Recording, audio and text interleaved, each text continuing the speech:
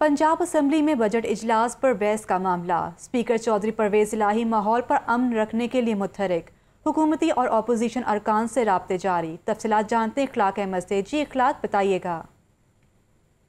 Speaker Punjab assembly Chaudhry Parvez Elahi जो है, वो हमदा शबाज की तकरीर के दौरान पंजाब असम्बली का माहौल पूरा अमन रखने के लिए जो है, वो मुतहरक हो चुके हैं और इस हवाले से राय के मुताबिक स्पीकर चौधरी परवेज लाई की हुकूमती और अपोजिशन बेंचों के अरकान से रबते हुए जिसमें स्पीकर चौधरी परवेज लाई ने पीटी अरकान को हमजा शबाशी की तकरीर के दौरान जो है पुरस्कून रहने की ताकीद की है।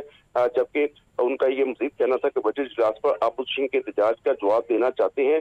आ, लेकिन आ, इस हवाले से स्पीकर पंजाब असम्बली को पीटी अरकान का ये कहना था कि जिस तरह उन्होंने बजट तकरीर पर हमारे साथ ज़्यादा की हम भी उसका जवाब देना चाहते हैं जिस पर आ, स्पीकर चौधरी परवेज राय ने दोनों को सुंदो तेज जुमले कसने और परहेज करने की अपील की है।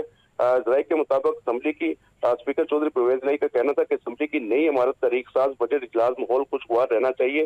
पंजाब के अवाम और पूरे मुल्क की नज़रें इस वक्त पंजाब असम्बली के इजलास पर लगी हैं।